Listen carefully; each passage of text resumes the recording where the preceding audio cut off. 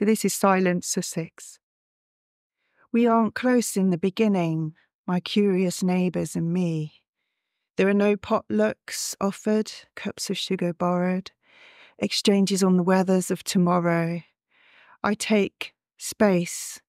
You accommodated me for free.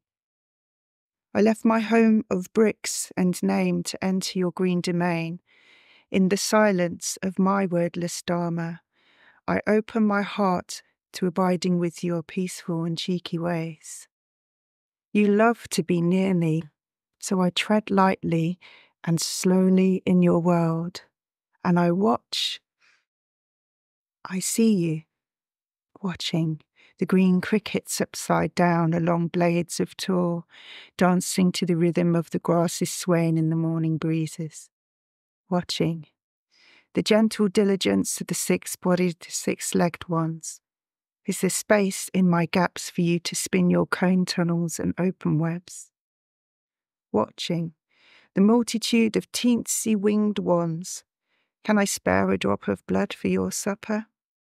Watching hoverflies, hornets, wasps. I see you stop and wipe your brows with your forearms. Work is relentless sometimes. Can I offer you something sweet to drink? Watching the field mice, rats, and stoats whose scurrying startles me when you nibble through my tent ground sheet. Watching the toads trying their luck, climbing the Everest of my tent and tumbling down again at 2 a.m. Watching my conditioned fear, tendencies for preemptive violence diminish leaving gentleness.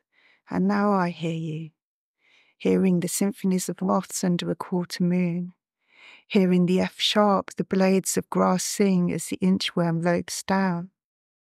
In appreciation, I offer my heart hums that you may all be well and have safe, joyful days. Hearing the orders of the gathering of beetles as they tirelessly recycle the detritus, I remain in appreciation for the unseen handiwork and courage to continue despite the powers. Hearing the bottle fly, he says, Excuse me, as he clips by in a rush. In this space, this meadow, we breathe the same air. In this rich silence, our presence shimmers. We are the meadow. What do you call yourselves, I wonder? I listen for whispers of your names and hope in this place we may abide in the everlasting breath of companionship, that we may not be parted from the gentle ways we find to know each other. He came early in mid August, the JF drum mower. Millions of children, grandparents, siblings, the weak, the strong, the busy, those singing are flung into the air wings and limbs torn, bodies crushed. The survivors become refugees. Grasses, seed heads, flowers felled, scraped into long piles, tumbled and tossed to dry out, then gathered and bound by John Deere 545. Can you escape? Avoid the 40 inch tyres and crushing weight. The raptors curl and circle. We are a graveyard.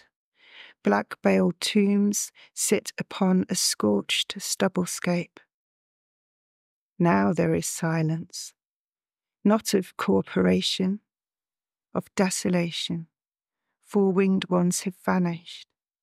I strain to see below the severed grasses the streams of fugitive insects and creatures exiled mice and stoats, starving hornets, moths, and butterflies, whose lives so brief are diminished further.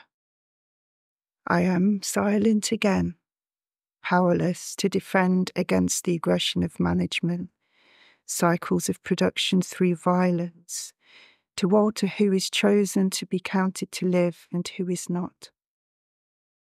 Around my tent, a circle of long grasses and flowers unreachable by the machinery exists. I become a refugee centre. Wasps and hornets and toads circle and gather, take stock of themselves, rest. I watch you leave to explore, and returning, finding no food, circle to feed here. This is silent Sussex.